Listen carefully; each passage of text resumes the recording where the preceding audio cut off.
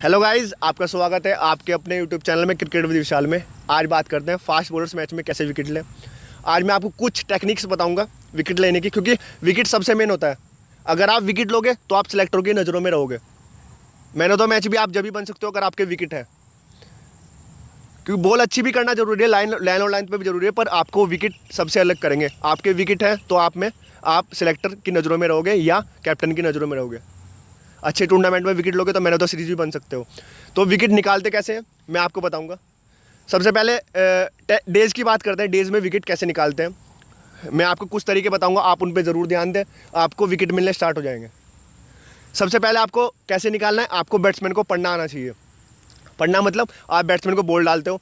आप उसकी वीकनेस देखो। अगर आप मान मान लो चेंज में फ़र्स्ट चेंज में बॉल डालते हो या सेकंड ओवर डालते हो या फ़र्स्ट भी ओवर डालते हो, आप एक दो ओवर के बाद उसको समझो बैट्समैन को। बैट्समैन की कमज़ोरी कहाँ है? वो आउट स्विंग अच्छा खेल रहा है या इन स्विंग अच्छा खेल रहा है? उसका पैर निकल रहा है ड्राइव अच्छा आ रहा है या डिफेंस अच्छा आ रहा है? ये आप सब कुछ देखना है। आप ये नहीं कि आप ओवर डाल के गए, आपने ओवर डाला दो तीन ओवर और जाके उधर खड़े हो गए आपको पता ही नहीं कि बॉल कैसे बैट्समैन खेल रहा है आपको ये ये सब कुछ पढ़ना है। बॉल बॉल करते हुए और ये आप फील्डिंग पे करें उस टाइम भी कि बैट्समैन की कमज़ोरी कहाँ है? बैट्समैन शॉर्ट शॉर्ट बॉल खेल रहा है नहीं खेल रहा है? बैट्समैन ड्राइव कर रहा है नहीं कर रहा है? बैट्समैन लेफ़्ट कर रहा है नहीं कर रहा है?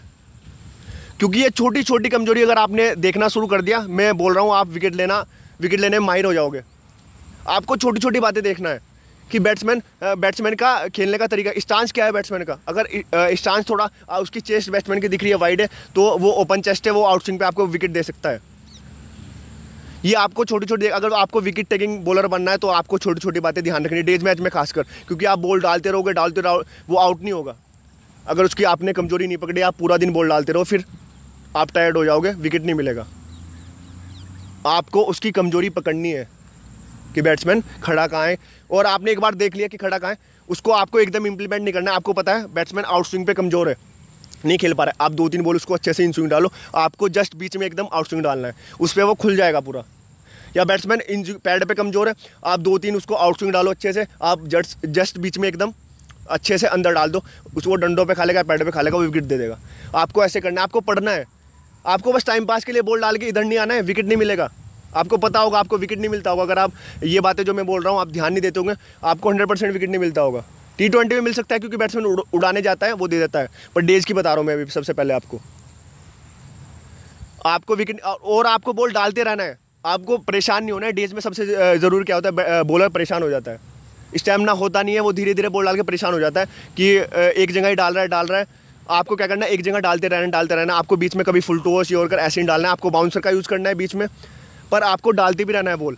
आप एक जगह डालो, जब भी बैट्समैन परेशान होगा विकेट देगा आपको। बहुत ज़रूरी है डेज़ में ये बातें आप ज़रूर ध्यान दें। आपको बैट्समैन को पढ़ना है और एक जगह डालनी है। और आपको स्विंग स्विंग आना चाहिए। अगर आपको पेस आपके पास कितना भी अगर स्विंग नहीं है ना तो विकेट नहीं निकलेगा। तो स्विंग के लिए भी वीडियो बनाया। सब जाके देखें कि कैसे स्विंग करना है। वो धीरे धीरे आएगा और मैच में उसको इम्प्लीमेंट करना है आपको। मैंने डेज़ की बताया, डेज़ में ऐसे होगा। और अब मैं आपको ओडीआई ओडीआई और टी ट्वेंटी की बता रहा हूँ।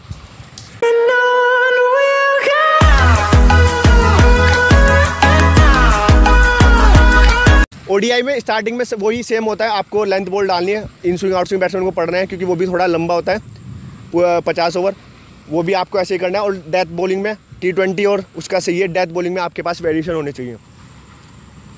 बैट्समैन को आपको पढ़ना तीनों गेम में अगर आप बैट्समैन नहीं पढ़ोगे तो बैट्समैन आपको कभी विकेट नहीं देगा। आपको रनअप के टाइम में वहाँ देखना है कि आप जब रनअप पे जा रहे हो, आपको उस टाइम ही देखना है कि अब अब मैं ये ये बॉल ट्राई करूँगा बैट्समैन इस बॉल पे कमज़ोर है। या मैं यहाँ से स्लो रन मारूँगा। अगर बैट्समैन आपको जस्ट उसी टाइम मूवमेंट चेंज करा है तो वो आप वहाँ पे जब अपने जंप लेते हैं, उस टाइम चेंज कर सकते हैं। पर आपको ये सब बातें पहले से ही सोचनी है। वेरिएशन बहुत ज़रूरी है टी ट्वेंटी में बिना वेरिएशन के आप बहुत मार खाओगे, अगर आपके पास वेरिएशन नहीं है। अगर आप लेंथ बॉल डालते रहोगे डालते रहोगे टी ट्वेंटी में तो आपको कोई नहीं बचा सकता। आपको नेक्स्ट मैच में मुश्किल मिलेगा फिर। आप वेरिएशन नेट्स में ट्राई करें, अभी आपके पास इतना अच्छा टाइम है, आप जहाँ भी है वेरिएशन ट्राई कर सकते हैं। क्योंकि अभी ऑफ़ सीज़न में आप जितना वेरिएशन ट्राई करोगे, फिर आप मैच में ट्राई करना। टी ट्वेंटी में बिना वेरिएशन के आप बोल नहीं फेंक सकते। आप दो तीन स्लोर वन अपने पास रखे ऑफ़ कटर रखे लेग कटर रखे back back off the hand रख। पेस में चेंज कैसे करना है, वो ज़रूर लास्ट के ओवर में आना चाहिए, वरना बहुत रन लगते हैं टी ट्वेंटी में। पेस भी होना चाहिए लेंथ बॉल भी आप इतना तेज़ डालो स्टार्टिंग में वो नहीं खेलेगा। अगर आप अच्छा पेस है वो भी नहीं खेलेगा, पर वेरिएशन भी लास्ट में ज़रूरी है। टी ट्वेंटी में खासकर वेरिएशन के बिना कोई फास्ट बॉलर नहीं बच सकता। पेस आपके पास कितना भी हो, बहुत लंबे लंबे छक्के लगते हैं। तो वेरिएशन स्टार्टिंग में आपके पास स्विंग स्टार्टिंग ही बता रहा हूँ टी ट्वेंटी में, स्टार्टिंग में, क्योंकि बैट्समैन नहीं होते हैं वो समझ नहीं पाते हैं। टाइम लगता है थोड़ा, समझने में विकेट कैसा चल रहा है। तो स्टार्टिंग में आप टप्पे से उसको इन स्विंग आउट स्विंग करें, उस टाइम आपको विकेट मिल सकता है।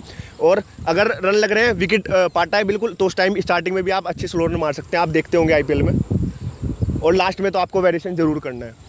तो ये थोड़ी बातें फास्ट फास्ट बॉलिंग में विकेट कैसे मिलते हैं मैंने आपको बताया। आप इसको ट्राई करो, आपको हंड्रेड परसेंट विकेट मिलने स्टार्ट होंगे।